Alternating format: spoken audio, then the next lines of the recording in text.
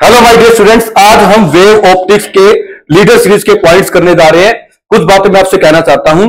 उठा हुआ हर हाथ दुआ के लिए नहीं होता, झुका हुआ हर पर्दा हया के लिए नहीं होता।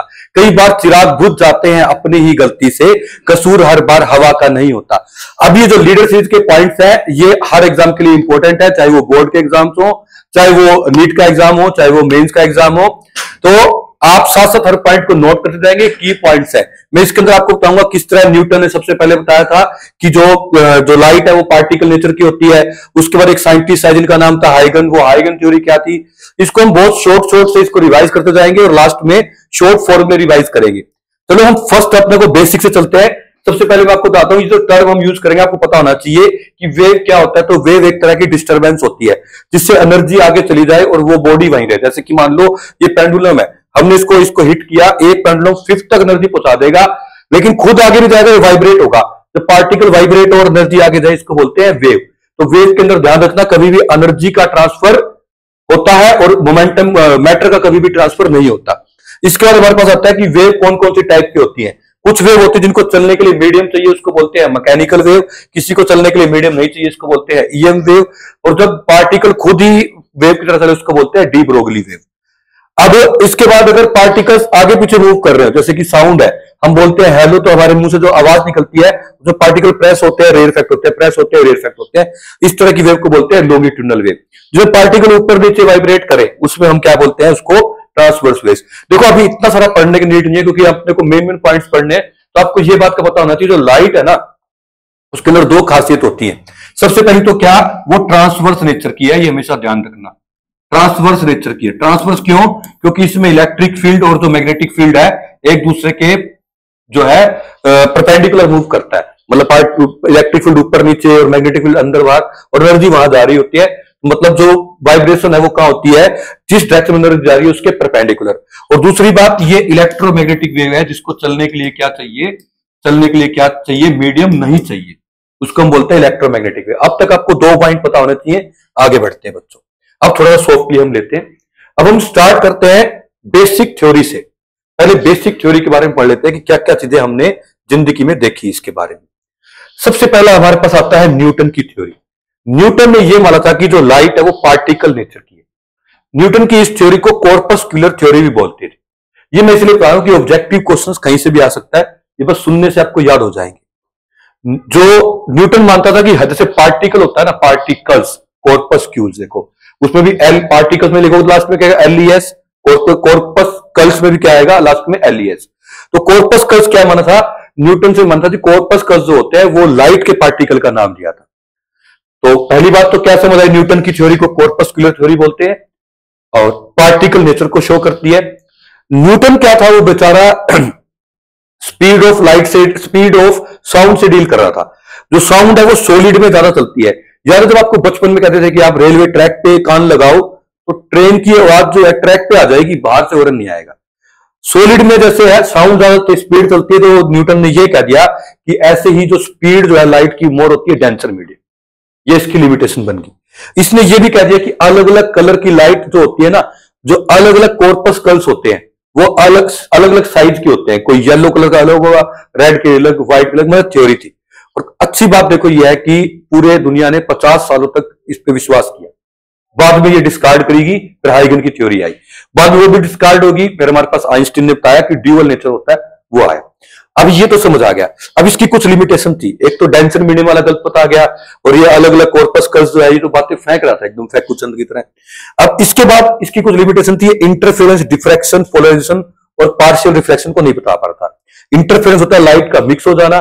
डिफ्रेक्शन है लाइट का बैंड हो जाना पोलराइजेशन होता है लाइट का कम हो जाना, एक तरह की लाइट तो जा सकती है, दूसरी साइड की लाइट नहीं जा सकती। जैसे कि हम गोगल्स वगैरह डालते हैं नाइट में तो हमारी आँखों में चमक कम हो जाती है, ऐसा क्यों होता है, ये नहीं बता पाया था। पार्शियल रिफ्लेक्शन होता है, जैसे पानी के ऊपर सन की लाइट आती है ना, आधी लाइट तो पानी के अंदर आधी जो उसमें से रिफ्लेक्ट हो जाती है, ये इन सबको नहीं बता पाया था। आगे बढ़ते हैं हम, फिर आता है हाइगन ने अपनी थ्योरी दी। इसको पूरा डिटेल में पढ़ेंगे, और मतलब शॉर्ट में सारी डिटेल पढ़ेंगे। इसने कहा था कि वेव नेचर होता है। लेकिन ये दो गलतियाँ कर पहले इसकी गलतियाँ सुन लो, फिर इसकी अचीवमेंट ज़्यादा है, ये थ्योरी सक्सेसफुली सब बातों को एक्सप्लेन करेगी। इसने कहा था कि लाइट को चलने के लिए मीडियम चाहिए, उस मीडियम नाम होता है ईथर इसको लगा, पता नहीं था कि वैक्यूम में भी पहले लाइट चलती होगी, इसने, इसको लगा कि जैसे एयर भरी हुई है ना, ऐसे कोई पूरे ब्रह्मांड के अंदर एक मीडियम और भरा हुआ है। हो सकता है आगे चल के वो प्रूव भी हो इसकी बात, लेकिन अभी हम मानते हैं कि वैक्यूम भी होता है। उसने कहा था कि जो लाइट है वो लॉन्गिट्यूडनल वेव की है। हालाँकि अब अपने पता है जो लाइट है वो लॉन्गिट्यूडनल नहीं है, वो कैसी है? ट्रांसवर्स नेचर की है। तो ये इसकी दो लिमिटेशन थी। ये तो अचीवमेंट इसने वेव नेचर बताया। इसने कुछ और बताया, जो बातें आप कर रहे हैं, जो एक एक नंबर में क्वेश्चन आ जाते हैं। वो क्वेश्चन जो है ऑब्जेक्टिव में भी आ सकते हैं वन मार्क्स में भी आ सकते हैं। मतलब मैं सभी चीज़ों को टारगेट कर रहा हूँ, इसमें बोर्ड्स को भी नीट को भी और मेंस को भी। वेवलेट आपको नॉलेज के लिए पता होना चाहिए जो भी हम स्मॉलेस्ट डिस्टर्बिंग पार्टिकल की बात करेंगे वेव के अंदर उसको वेवलेट बोलेंगे। हमको दिखेगा नहीं, जैसे बायोलॉजी के अंदर सेल नहीं दिखता अपने को केमिस्ट्री में एटम नहीं दिखता, ऐसे ही वेवलेट वेव ऑप्टिक्स में दिखता नहीं है।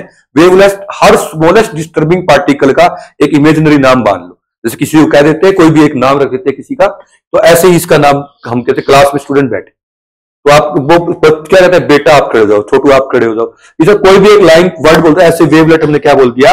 हर स्मॉलेस्ट डिस्टर्बिंग पार्टिकल को बोला। फिर आता है वेव फ्रंट वेव फ्रंट क्या होता है?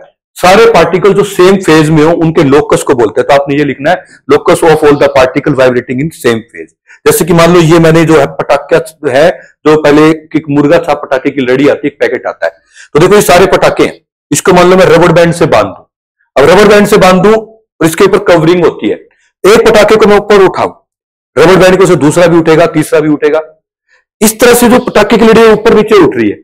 तो हर पटाखा क्या कहलाएगा? वेवलेट और इनकी जो कवरिंग है, उसका लोकस है, वो सबको इकट्ठा बता रहा है। उसको बोलेंगे वेव फ्रंट वैसे मैंने एक जैसे वाटर के ऊपर है। ये वाला वाटर नीचे की प्रेस होता है, ये ऊपर उठता है। इसके साथ नीचे जा रहा है, और ऊपर तो इससे वाटर के पार्टिकल वैसे चलते हैं। तो ये जो पूरी जो ग्रीन वाला एक वेव फ्रंट है, इसमें सारे सारे पार्टिकल ऊपर उठते हैं। तो वो पार्टिकल जो सेम फ़ेज़ में हो, उनके लोकस को बोलते हैं हम वेव फ्रंट इस तरह एक नंबर से ऊपर अभी तक इसमें कुछ भी नहीं आया।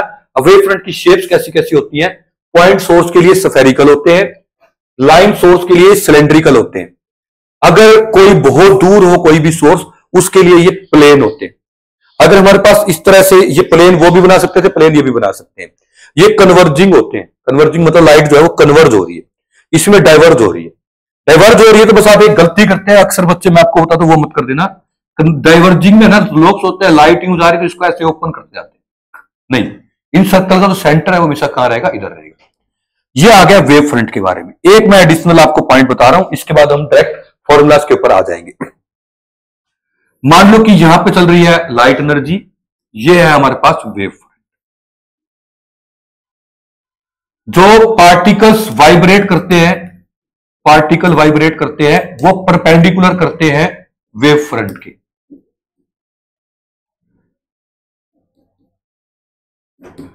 और जो लाइट एनर्जी ट्रेवल करती है, वो करती है वेव फ्रंट के परपेंडिकुलर वेव फ्रंट के परपेंडिकुलर क्या जाती है? लाइट एनर्जी और जिसको तुम रे बोलते हो एक्चुअली में रे क्या होता है? ये हाइगर ने कहा था। रे होता है एनर्जी किस डायरेक्शन में जा रही है? जैसे मान लो कि मैं कहूँ एनर्जी वहाँ जा रही है। तो ये सारे वेव फ्रंट जो है, इसके परपेंडिकुलर पे बनेंगे। इसको बोलेंगे रे जहाँ एनर्जी जा रही है, इसको बोलते हैं रे तो हमेशा ही जो रे है, वो वेव फ्रंट के क्या होती है? परपेंडिकुलर ये आपको पता होना चाहिए। चलिए बच्चों, ये अपनी जो है सारी की सारी थ्योरी जो है 90 परसेंट मैंने खत्म कर दिया। फॉर्मूले के ऊपर आएँगे 10 परसेंट क्या बच गया? वेव थ्योरी को एक्सप्लेन करने के लिए इन्होंने कुछ पॉइंट्स अपने को बताए थे। वो तीनों पॉइंट को मैं बहुत सिंपल वे में लिख के आया हूँ। सबसे पहले तो क्या है? मैं हिंदी में लिख के आया हूँ। जिस बच्चे को भी हिंदी में समझना हिंदी में समझ लेगा। मतलब कहने वाला मिक्स लैंग्वेज का लिख के आया हूँ। इसके बाद मैं अपनी तरफ़ से पॉइंट आपको बता देता हूँ। देखो, तीन पॉइंट है, पहले तीनों के ऊपर मैं सीधा सीधा प्रकाश डाल देता हूँ। सबसे पहला पॉइंट तो ये कि किसी भी वेव फ्रंट का हर point fresh source of energy होता है। जैसे ये भी आगे डिस्टरबेंस देगा, ये भी ये भी, हर एक पार्टिकल आगे आगे एनर्जी देगा। इसको बोलते हैं primary wavelet primary wavelet ये अपनी एनर्जी जिसको देगा, उसको बोलते हैं सेकेंडरी वेव लेट ऐसे अब ये अपनी एनर्जी आगे देगा, उसको बोलेंगे फिर इसको प्राइमरी इसको सेकेंडरी इसमें दो ही होते हैं प्राइमरी सेकेंडरी लेने वाला, देने वाला। देने वाला प्राइमरी लेने वाला सेकेंडरी इसके बाद हमारे पास इस तरह से इन्होंने जो अपनी एनर्जी है वो आगे डिस्ट्रीब्यूट कर दी।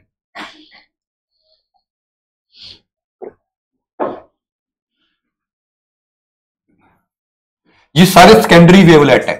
मान लो ये ए था, ये बी ये सी तो ये A dash B dash C dash ये सेकेंडरी वेवलेट है।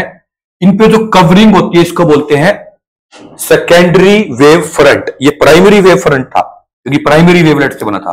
पूरा नहीं लिख रहा मैं टाइम की शॉर्टेज है प्राइमरी वेव फ्रंट ये सेकेंडरी वेव फ्रंट दूसरी बात, ये जो एनर्जी है, ये चलती है स्पीड ऑफ़ लाइट से सी से चलती है। ये दो बातें इन्होंने बताई थी, ये मैंने यहाँ पर लिख दी। क्या क्या बातें लिख दी मैंने? एक तो हर पार्टिकल जो है वेव फ्रंट के ऊपर वो फ्रेश सोर्स ऑफ़ डिस्टर्बेंस है। जो सेकेंडरी वेवलेट की कवरिंग होगी या एनवेलप होगा, उसको बोलेंगे हम सेकेंडरी वेव फ्रंट और तीसरी बात, ये स्पीड ऑफ़ लाइट चलती है। दैट्स ऑल इतनी सी आपको ये थ्योरी करनी है। इसके बाद अब हम आ जाते हैं नेक्स्ट टॉपिक इंटरफेरेंस के ऊपर। उसके फॉर्मे समझते हैं, वो होता क्या है, अब ये सब समझते हैं अपन। नेक्स्ट हमारे पास आ गया, देखो इंटरफेरेंस इंटरफेरेंस पे चलते हैं बच्चों। ये हम आ चुके हैं अब इंटरफेरेंस में। मैं ज़्यादा आपका टाइम नहीं लूँगा, मैं सारा का सारा जो टॉपिक है, वो बस इसी में ही समझा दूँगा। इंटरफेरेंस और डिफ्रैक्शन में डिफरेंस देखेंगे, बहुत सिमिलर से फॉर्मुले हैं, इसीलिए पहले ये एक समझ लो, फिर मैं उनमें डिफरेंस करके दूसरा भी समझा दूँगा।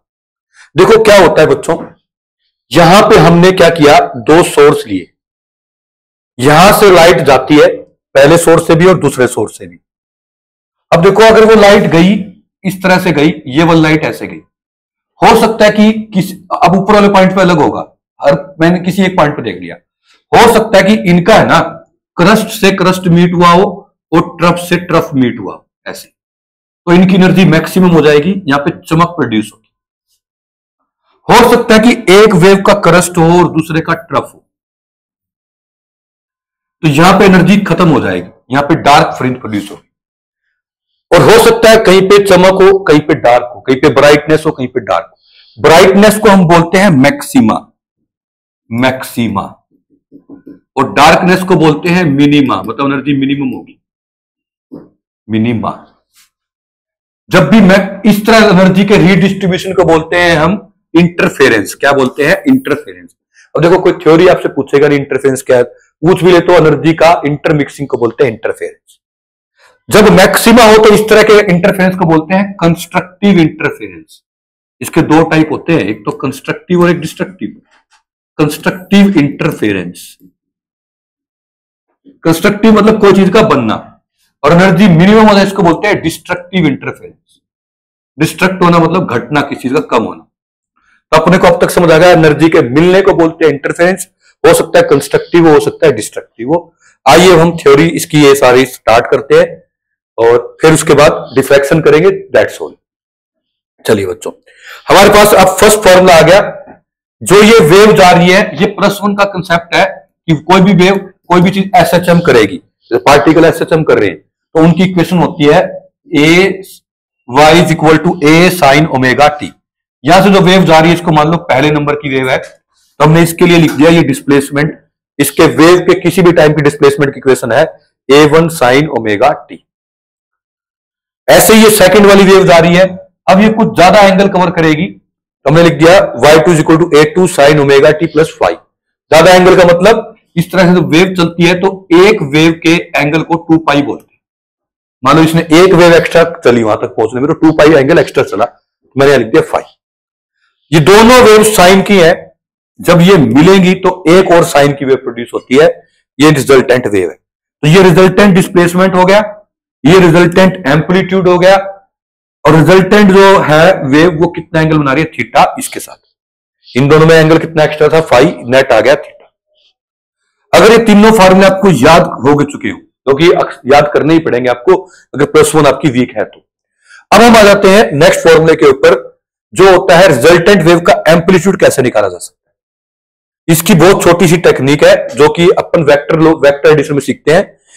A one square A two square plus two A one A two cos five इससे एम्पलीट्यूड का स्केयर आता ये हमारे पास आ गया एम्पलीट्यूड का स्केयर फिर आता है एम्पलीट्यूड जो होता है, वो होता है इंटेंसिटी होती है I is equal to K into A square तो अगर मैं दोनों साइड के से मल्टीप्लाई कर दू के से यहाँ के से यहाँ के से यहाँ, इस पूरे को भी के से के से कर दू मल्टीप्लाई मतलब रूट के से और रूट के से, ये के ही बन गया।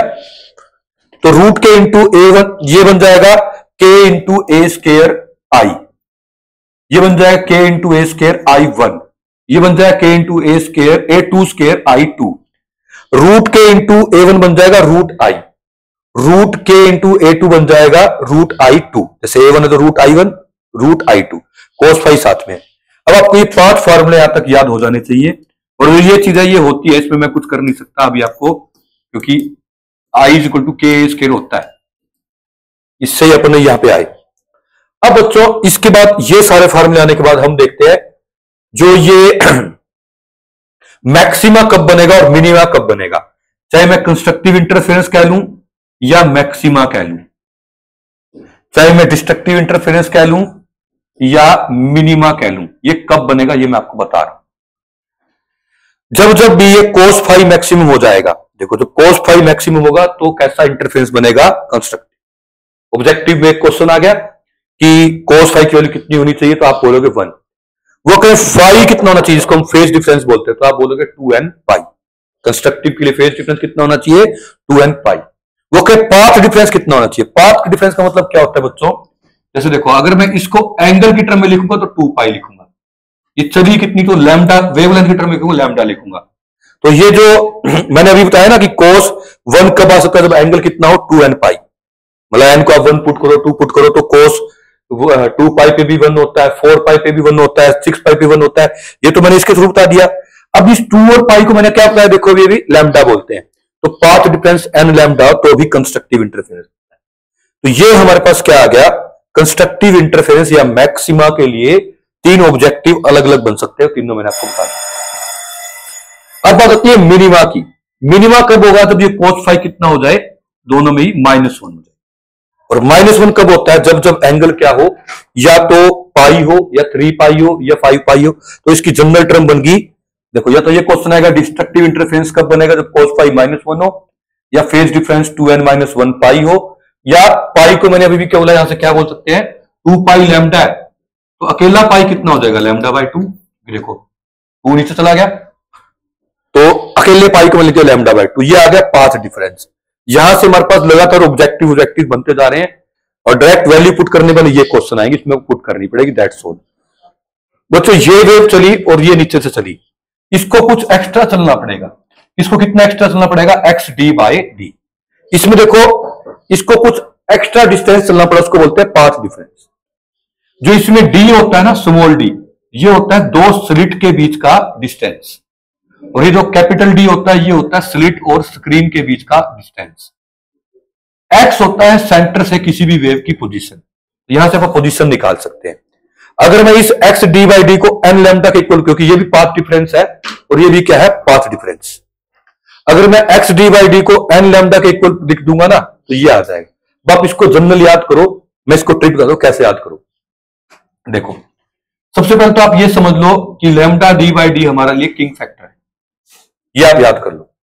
अगर डार्क ब्राइट फ्रिंज की बात होगी तो एन से मल्टीप्लाई करना है। और अगर डार्क की बात होगी तो उसकी पोजीशन निकालने के लिए two N minus one by two से मल्टीप्लाई करना तो डार्क फ्रिंज की पोजीशन आ गई two N minus one by two lambda D by D fringe width आ गई तो वो होते ही लैमडा डी बाई डी है। तो मैंने आपको ये वाले फॉर्मूले अब तक बता दिए। एक बार पहले ये हाइड कर देता हूँ, जो अभी आपको नहीं बताए अभी ये नहीं बता रहा क्योंकि ये बिल्कुल चैरी उनके ये अपने आप आ जाएँगे वो आगे तो। देखो। पोजिशन ऑफ़ ब्राइट फ्रिंज आए तो लैमडा डी बाई डी को एन से मल्टीप्लाई डार्क फ्रिंज आए तो two N minus one by two से multiply lambda D by D आ जाएगा। फ्रिंज विड्स आते तो वही लैमडा डी बाई डी होता है। अब आ जाए एंगुलर पोजिशन भाई, ये सेंटर से कितने एंगल बन रही है? ये थीटा पूछ ले भी कितने एंगल बन रही है? तो बस डी डी डी हटा देंगे। तो एंगुलर पोजिशन आ जाएगी इसकी एन लैमडा कैपिटल डी हटा देंगे बाई डी ऐसे ही इसमें भी angular position of dark fringe आ जाए तो डी हटा देंगे। ऐसे ही एंगुलर फ्रिंज आ जाए तो भी ये डी हटा देंगे ये हमारे पास हो गए सारे फॉर्मूले किसके? इंटरफेरेंस के। डिफ्रैक्शन के जस्ट एक मिनट का काम है। इसमें एक चीज़ मैं आपको बता देता हूँ बच्चों। ये जो दो हमारे पास सोर्स होते हैं ना, एक एस ये जो स्लिट है, इनमें खास बात होनी चाहिए। ये है ना सेम फ्रीक्वेंसी के होने चाहिए। जैसे मान लो ये वेव जा रही है। अब ये किसी और को तभी कैंसिल या ऐड कर सकती है, जब बिल्कुल ये मैचिंग हो रही हो इनकी। जब इनकी बिल्कुल मैचिंग हो रही हो। इसको बोलते हैं सेम फ्रीक्वेंसी की। सेम फ्रीक्वेंसी की हो तो ही कैंसिल कर अदरवाइज़ क्या होगा? अदरवाइज़ अगर मैं कह दूँ, इन दोनों वेव को आपस में कैंसिल करा के देखो। एक ये है और एक ये वाली है। तो ये एक दूसरे की नज़दीक को ना कैंसिल कर पाएँगे, ना ऐड कर पाएँगे। तो इस तरह के सोर्स नहीं लेने। सेम फ्रीक्वेंसी वाले सोर्स को बोलते हैं कोहरेंट सोर्स याद रखना कोहरेंट सोर्स जिनमें क्या हो, या तो ज़ीरो फ़ेज़ डिफरेंस हो, कोई फ़ेज़ का ना एंगल का डिफरेंस ना आए। या जो आ गया परमानेंट कांस्टेंट रहे, या क्या हो constant phase difference phase difference का मतलब या तो बिल्कुल साथ के साथ चले नेक टू नेक जैसे ये चल रहे हैं। या ऐसे चले, जैसे कि ये ऊपर है तो ये नीचे से आए। और परमानेंट वही रहे। और फ्रीक्वेंसी क्या हो सेम इसको बोलते हैं फ्रीक्वेंसी क्या हो सेम देखो, या तो ज़ीरो फ़ेज़ डिफरेंस हो कॉन्स्टेंट फ़ेज़ डिफरेंस हो एंड सेम फ्रीक्वेंसी इसको बोलते हैं कोरेंट सोर्स और ये जो लाइट होनी चाहिए, ये एक वेवलेंथ की होनी चाहिए, एक ही कलर की होनी चाहिए. एक ही कलर की जो लाइट निकलती है, उसको बोलते हैं मोनोक्रोमेटिक लाइट मोनो मतलब सेम क्रोमेटिक मतलब कलर ये जो लाइट है, ये मोनोक्रोमेटिक सोर्स की होनी चाहिए. अब बात आती है, सर, एक बार यहाँ से दोबारा बता दो तो मैं आपको बता देता हूँ कैसे. अब ये एक ही माँ की संतानें होनी चाहिए मतलब सेम फ्रीक्वेंसी की होनी चाहिए. जो दो लाइट जा रही है। इनको बोलते हैं अपन कोहरेंट। कोहरेंट।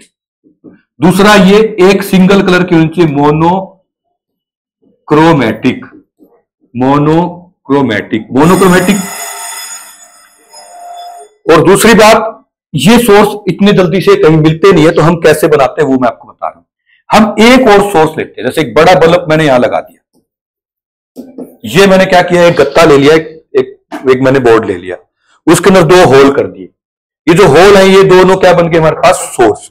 एस वन और एस टू इनको बोलते हैं स्लिट्स ये मेन सोर्स होता है हमारे पास। इससे अब जो निकलेंगे ना ये लाइट भी, ये लाइट भी बनी तो यहाँ से तो सेम एनर्जी की होगी। या ये एक तरह से और बना सकते हैं। वो कैसे? इस तरह से मान लो, हमने एक लाइट भेज दी इसके अंदर। मान लो कि हमने टॉर्च ले ली इस टॉर्च से एक लाइट तो हमने यहाँ भेज दी। दूसरी एक मिरर पे लगी। उस मिरर पे लग के वो यहाँ चलेगी। तो अब ये दोनों लाइट का सोर्स एक है, ये भी हम बना सकते थे।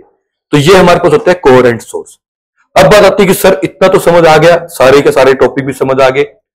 अब आप हमें है ना, बस जल्दी से इसमें डिफरेंस बता दो और खत्म कर दो।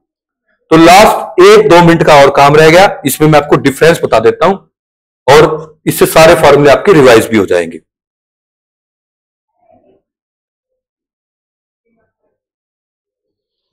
चलिए बच्चों, देखो। जो इंटरफेरेंस होता है, इसके अंदर इस तरह से दो दो हमारे पास स्लिट होती है। और डिफ्रेक्शन में क्या होती है? एक ही स्लिट इंटरफेरेंस होता है लाइट का मिक्स होना और एनर्जी का रीडिस्ट्रीब्यूट होना। हाँ एक और इंपॉर्टेंट बात। चाहे स्टार डाल के लिख लो, जब भी दो वेव आपस में उल्टी मैच होती है मतलब एक की क्रस दूसरे की टफ तो एनर्जी खत्म नहीं होती, वो रीडिस्ट्रीब्यूट होकर आगे चली जाती है। क्योंकि एनर्जी का neither be created nor be destroyed इसकी डेप्थ मत जाना बस ये समझ लो एनर्जी रीडिस्ट्रीब्यूट हुई है। तो इंटरफेरेंस एनर्जी का रीडिस्ट्रीब्यूशन होता है। डिफ्रैक्शन ऑफ़ लाइट क्या होता है? लाइट का बैंड हो जाना। इसमें एक ही स्लिट होती है। बीच में एक ही स्लिट होती है। इसमें क्या होती है? बहुत सारी स्लिट अब अब मैं ये कह रहा हूँ कि स्लिट एक होती है, इसका मतलब ये नहीं कि सोर्स एक है। हम इसके अंदर छोटे छोटे पार्टिकल को सोर्स मान लेते हैं। कोई पूछ ले इसमें स्लिट कितनी है? इंटरफेरेंस में दो तो इसमें एक। उसमें सोर्स कितने दो, वो दो ही सोर्स मानते हैं। इसमें एक स्लिट को हम कई सारे सोर्स मान लेते हैं। इसमें इंटेंसिटी सेम रहती है। जो भी सामने जो चमक प्रोड्यूस होगी ना। अच्छा वो चमक को जब थ्री में देखते हैं तो उसको बोलते हैं फ्रिंज क्या बोलते हैं फ्रिंज क्योंकि जो लाइट चमक ऊपर प्रोड्यूस कर रही है, वो नीचे भी करती है साइड में भी होती है। तो एक फ्री एक फ्रिंज बन जाती है। इसमें क्या होता है? सेंट्रल लाइन की जो जो इंटेंसिटी है, वो तेज रहती है। जैसे एक दरवाज़ा खोलो आप। डोर को खोलते हो। तो आप सामने वाली दीवार पे क्या देखते हो? बहुत ज़्यादा चमक आ रही है। उसके बाद बाद वो चमक कम होती जाती है। ये डिफ्रेक्शन ऑफ़ लाइट है। ये डिफ्रेक्शन ऑफ़ लाइट है। अभी डिटेल में नहीं जा रहे ना हम तो फॉर्म रिवाइज कर रहे हैं। चलिए बच्चों, अब इसमें और क्या मैंने डिफरेंस आ इसमें दो स्लिट है, इसमें एक स्लिट है, इसमें दो सोर्स है, इसमें इनफाइनेट सोर्स है, क्योंकि हर एक छोटे पार्टिकल को सोर्स मानते हैं। इसमें सेंट्रल जो फ्रिंज होती है, उसकी इंटेंसिटी हाई होती है, फिर कम होती जाती है। इसमें हर फ्रिंज की इंटेंसिटी सेम होती है। ये सारा मैं आपको बता चुका हूँ। अब देखो इसमें खास क्या बात है। जो इसमें फ्रिंज विड थी, वही इसमें फ्रिंज विड जो इसमें पोजीशन ऑफ़ ब्राइट फ्रिंज थी, जिसको मैंने एक्शन लिखा था, इसमें वो पोजीशन ऑफ़ डार्क फ्रिंज है, देखो। Position of dark fringe dark fringe कैसे है? इसमें देखो क्या थी position of right fringe X N N lambda D by D इसमें डार्क फ्रिंज की क्या है? N lambda D by D देखो डैश का मतलब डार्क की बात। इसमें जो डार्क की थी एक्स एंड डैश उसमें क्या है वो? ब्राइट की। एक छोटा सा चेंज है, इसमें बस प्लस है, इसमें माइनस था इसमें प्लस है। बीच में प्लस आएगा, बाकी सब में ठीक है, इसमें मैंने प्लस नहीं लिखा, गलती से। तो अपने को यहाँ तक क्या समझ में आ गया? जो इसमें डार्क की पोजीशन थी, वो इसमें ब्राइट की है। जो इसमें ब्राइट की थी, वो इसमें क्या है? डार्क की है। फ्रिंज विथ दोनों में सेम रहेगी एंगुलर वाली भी क्या रहेगी, दोनों में सेम जो सेंटर के ऊपर सेंटर के ऊपर इसके अंदर जो फ्रिंज बनेगी। वो दो गुना होगी। सिंपल जो फ्रिंज विथ थी ना उसका दो गुना होगी। तो सेंट्रल फ्रिंज विथ क्या होती है? इसके अंदर सेंटर वाली जो फ्रिंज की विथ होती है वो कितनी होती है? दो गुना होती है एज कंपेयर टू इसमें। ये एक और डिफरेंस है। तो हमने एक बार डिफरेंस को रिवाइज कर लेते हैं। सबसे पहला डिफरेंस तो क्या था? इसमें टू स्लिट्स होती है इसमें क्या होती है? वन स्लिट इंटरफेरेंस में क्या होती है हमारे पास? आ, दो सोर्स इसमें इनफाइनाइट सोर्स इंटरफेरेंस में हर एक फ्रिंज की जो इंटेंसिटी है वो क्या होती है? सेम होती है। इसमें हर फ्रिंज की जो इंटेंसिटी है वो क्या होती है? अलग अलग होती है। इसमें हर फ्रिंज की फ्रिंज विड्थ सेम होती है। होती है, इसमें भी सेम है। बस जो सेंट्रल फ्रिंज विड्थ होती है ना, क्योंकि सेंटर से बिल्कुल ओपन है। तो इसकी मोटाई जो होती है, जो ये विड्थ बनेगी और के कंपैरिजन में क्या होती है? दो गुना। इसमें जो पोजीशन डार्क फ्रिंज की थी, इसमें वो ब्राइट की है, इसमें जो ब्राइट फ्रिंज की थी इसमें वो डार्क की है। और टू एन प्लस वन यहाँ पे ज़रूर लिखना, यहाँ पे माइनस तो होप सो यहाँ तक आपको फॉर्मुले समझ आ चुके होंगे बच्चों। इसके बाद इसकी डीपीपी में और कराऊँगा, जिसमें न्यूमेरिकल आपको सोल्व कराऊँगा। फिर बस मैं यही बात कहना चाहूँगा कि उठा हुआ हर हाथ दुआ के लिए नहीं होता, हर पर्दा हया के लिए नहीं होता, चिराग बुझ जाते हैं अपनी ही गलतियों से। हर बार कसूर हवा का नहीं होता। तो अभी इसकी डीपीपी करनी है, इस फॉर्मूले की लिस्ट बना लेनी है। तो ये तीन चार लेक्चर के अंदर पूरा आपके पास हंड्रेड परसेंट आपको आ जाएगा। Thank you so much